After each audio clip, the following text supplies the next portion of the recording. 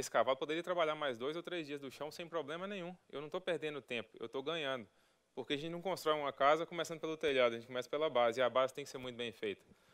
Você viu que num potro que nunca tinha sido montado, você conseguir trabalhar garupa, pescoço, trabalhar a espada e pedir para dar um passo para trás com zero resistência em tudo, e sem um desgaste físico dele ou meu, ele está um pouco suado pelo trabalho, óbvio, mas ele não está cansado, a respiração dele está totalmente normal e ele está mais relaxado do que estava no início.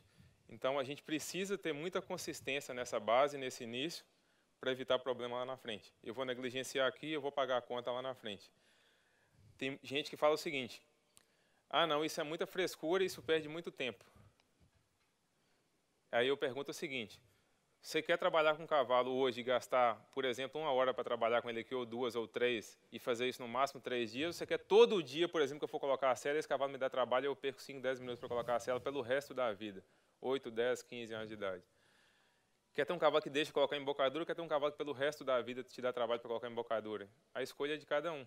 Então, quem acha que gasta muito tempo aqui, gosta de gastar tempo, pagar juro a vida inteira. Eu, particularmente, gosto de resolver um problema assim que ele aparece. Ou melhor, eu quero evitar que o problema aconteça. E basta trabalhar com calma, tranquilidade e respeitando o limite de cada cavalo.